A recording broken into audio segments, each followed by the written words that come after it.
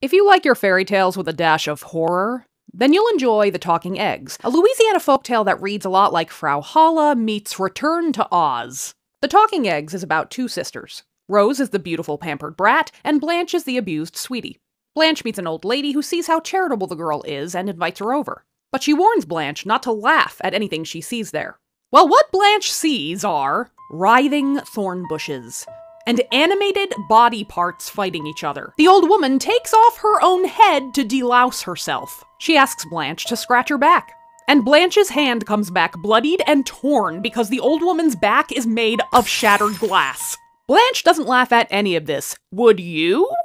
The old woman cures Blanche's hand and offers her as many eggs as she wants from the chicken coop. The eggs talk. Some say, Take me, and others say, Don't take me. Blanche only takes the ones that offer themselves, and she breaks the eggs on her way home as the old lady instructed her to.